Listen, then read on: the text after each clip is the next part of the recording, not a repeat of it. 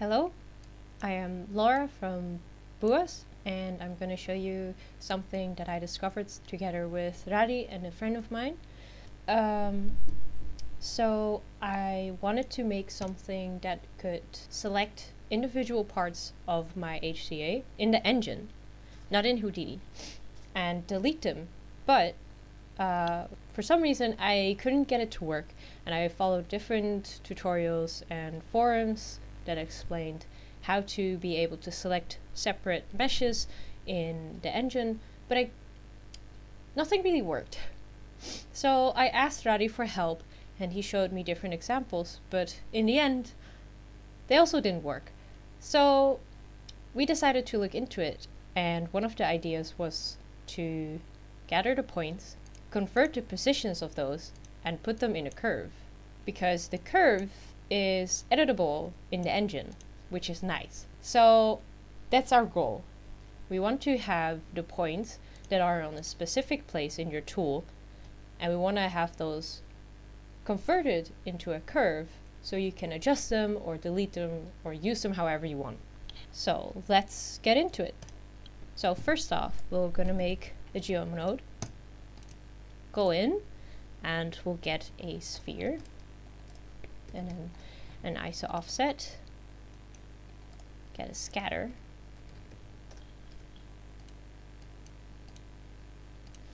and let's use 10 points for now. So normally, or in my case, for my tool, they should be in a specific spot, not randomly selected points. So after the points, we'll start to make our little code. Now we want to convert these points. For each point, we want to have the position information, which is a vector. Now you can see this in a geometry spreadsheet. So this information is what we want. If we get a curve tool, one of the discoveries I made during this little experiment is that the coordinations to create those points is actually made from a string. So our code has to be a string as well for it to work. So now we know the curve needs a string, so we'll begin by making a string. So let's say position info is an empty string. Then we'll need a for loop for each point. So we're going to make an int e, which is a zero. Then, if the e is smaller, or i is smaller than number of points, it should add 1. So now we can go through all the points and get their vector information. Because a position is a vector, we'll start by making a vector. So each point is, we're going to take the point, which is the first input, and we're going to look for the position. And the index number is e. So now we'll have, for each point, we'll have the position information. But we need to put all these information in the position in info. So next, we'll append. And what append does is it gets the information that you put in and it puts it in a string that we already created. So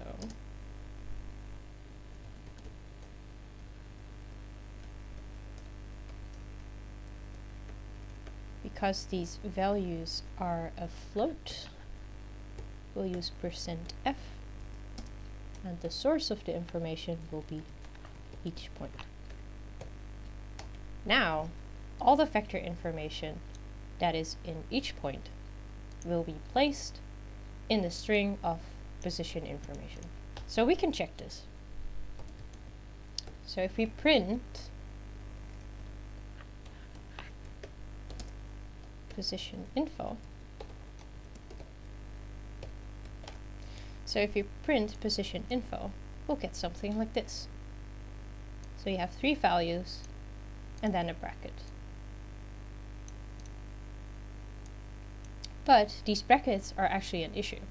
If I go in here and I place these brackets and I display it, it will give me an error. It doesn't expect these squiggly brackets. So we need to remove those. So that's our next step. Let's disable this. And now we'll replace those squiggly brackets for spaces. So let's get to position info and take a replace get these brackets and replace it for a space.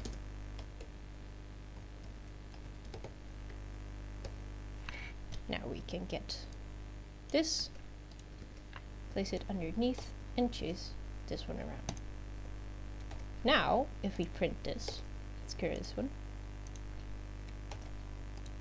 you can see it now only has spaces. In the beginning it has one, and in the middle it has two. Now these extra spaces don't have effect on the final curve. So if I change these for extra spaces, and let's exaggerate for a bit, right? This doesn't matter. It doesn't give an error, it just makes the curve how it expects it to be. So now that we have this information, we'll go to bindings and add one binding. The vex parameter that we want to take is position info and let's call this string list. Now we can finally use this attribute in the curve. So let's connect these two and remove this. Normally, expressions do not work in a curve. You have to enable it first.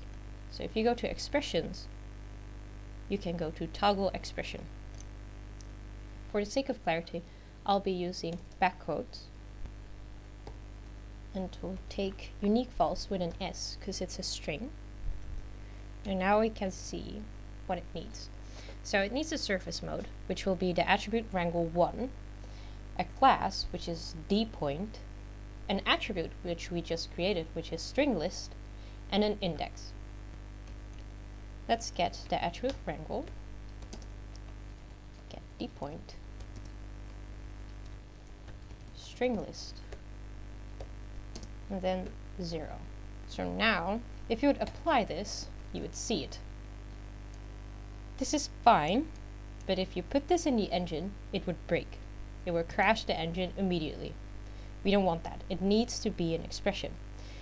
And the, the way to see that is when this whole black part is actually more of a bluish color. So we need to change that. And that's why we had to toggle the expression. Now let's click on edit expression and this is the thing we need and apply. You have to do toggle expression first or else edit expression and apply will not work. When this is green, it means you did it right. Now, if we add the back quotes again, it will give an error because it doesn't expect it when giving an expression. So, now that we have this, we're done. So let's test it in Engine. Let's make an output. Let's go out and give this a name. Let's say editable points. Let's disable the print first. Okay, alright. Now let's create a digital asset. Editable points is fine. Let's go to node and grab the curve and put it into editable nodes. Now we're done. Click accept. Go to Unreal. Look for your HDA. Place it in the engine. To the scene. Now it will start up Houdini engine. And now you can see it works. So we can see the points, we can select them individually, move them around, we can also delete them. So this can be very useful if you have an issue like what I have and that is I want to have those individual points, which are actually in this one, but you cannot see them, and delete them, because there are certain places in my scaffolding that I want to delete. This might be useful for you too, so I thought I would share this. Thanks again to Radoslav for helping me out and my friend Jannick. Thank you for listening and I hope this was useful for you.